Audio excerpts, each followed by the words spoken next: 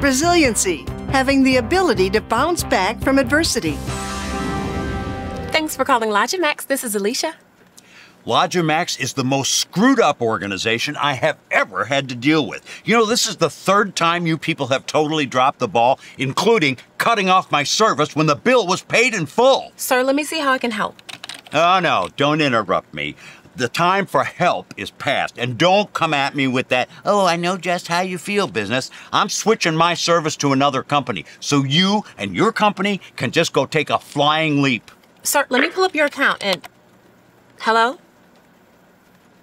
Hello? How could I have helped him? He didn't even leave his name. He was so mad, he didn't even let me fix it. so frustrating. Oh, here's the email from Don. Hi, Alicia. There's heavy call volumes predicted for this weekend, and we're shorthanded, so we're going to need you to go ahead and come on in on Saturday until about 5. I'll make it up to you next week. Thanks. Well, that's just great. I had tickets to the game Saturday afternoon.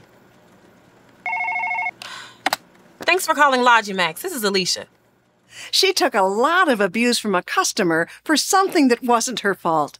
I'll bet that happens to you too.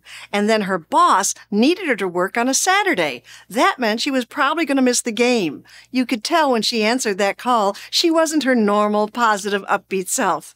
And that's why we're covering resiliency. Having the ability to recover from setbacks and not take the frustration from prior events out in the next situation.